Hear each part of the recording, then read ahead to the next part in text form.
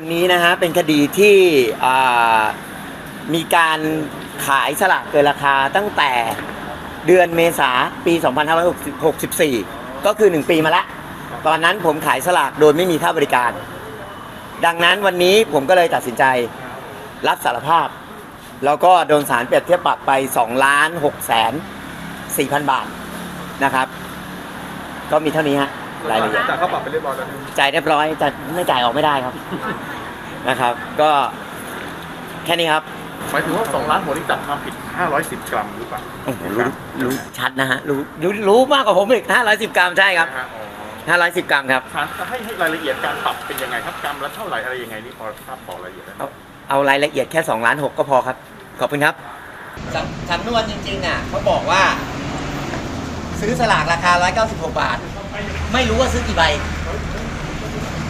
ถ้าอย่างนี้ลูกค้าผมบอกว่าซื้อ10ใบมันก็ตกใบเรา16บาทเองพี่ตั้มเปิดเลยเปิดคุณน้องเห็นว่าหลักฐานที่พนักงานสอบสวนรวบรวมมาที่ถึงจะอ่อนมากอ่อนมากครับอ่อนมากแต่ว่าโอเคแต่ว่าเราอยากเอาเวลาไปทำมาหากิน แล้วตอนนั้นผม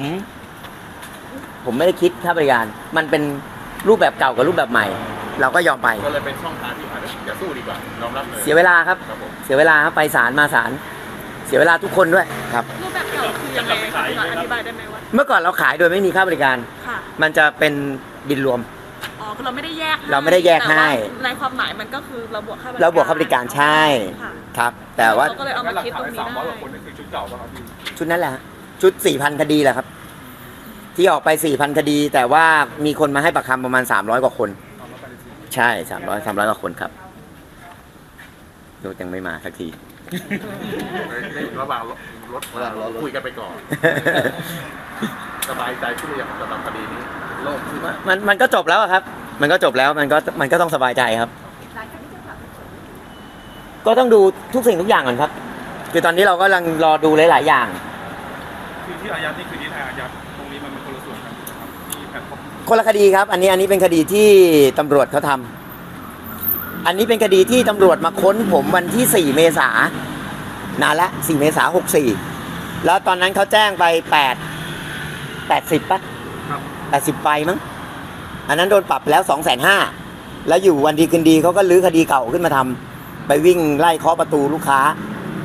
แล้วก็ใช้เวลาเดือนครึ่งสรุปสำนวน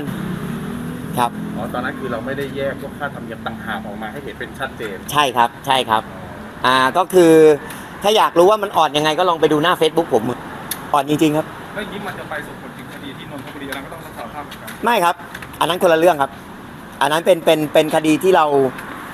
เราปรับรูปแบบการขายหมดแล้วครับ ครับ ขอตัวนะครับ ขอบคุณนะครับขอบคุณครับ ข่าวช่อง 8 ครบเครื่องเคียงข้าง